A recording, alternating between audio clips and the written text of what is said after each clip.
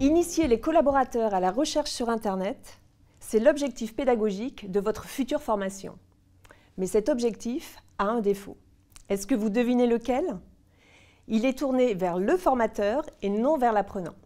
Or, c'est l'apprenant qui est au cœur du dispositif de formation et non le formateur. L'objectif de formation décrit ce que les apprenants seront capables de faire à l'issue de la formation, c'est-à-dire un comportement observable. Il permet à nos interlocuteurs de vérifier sans ambiguïté l'atteinte ou non de l'objectif.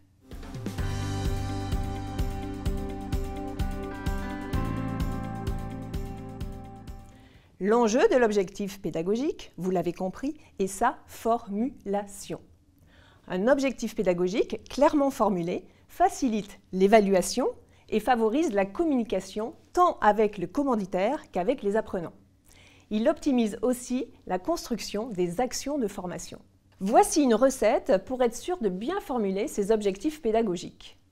Nous commençons toujours notre phrase par À l'issue de la formation, l'apprenant sera capable de, auquel nous ajoutons un verbe d'action spécifique à l'infinitif, complété par des critères de performance et des conditions de réalisation.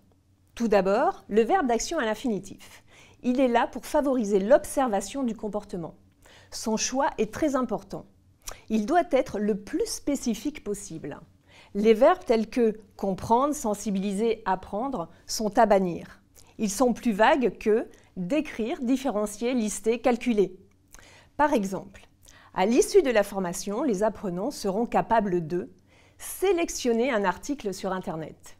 Et préférable à, les apprenants seront capables d'apprendre à sélectionner un article sur Internet, qui est vide de sens.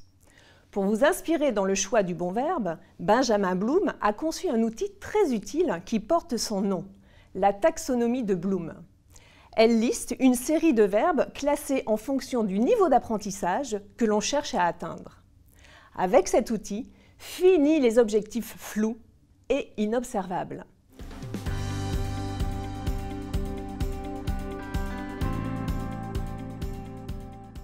L'objectif indique ensuite les critères d'évaluation, c'est-à-dire qu'il précise le niveau de performance souhaité. Dans notre exemple, cela donne à l'issue de la formation, les participants seront capables de sélectionner sur Internet un article d'actualité en biologie en moins de deux minutes. L'objectif précise enfin, si besoin, les conditions de réalisation qui valident l'atteinte des objectifs. Dans notre exemple, il suffirait d'imposer d'effectuer la recherche à partir du moteur de recherche Google. N'oublions pas que l'objectif pédagogique s'inscrit dans une logique plus large. D'un côté, il répond aux objectifs opérationnels et aux enjeux stratégiques du projet de formation pour l'entreprise. De l'autre, il se décompose en plusieurs sous-objectifs pédagogiques correspondant aux étapes par lesquelles le formateur fait passer ses apprenants.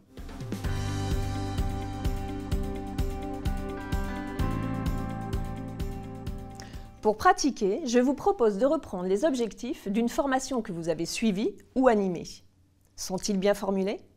Si ce n'est pas le cas, réécrivez-les en respectant la formule. C'est votre objectif.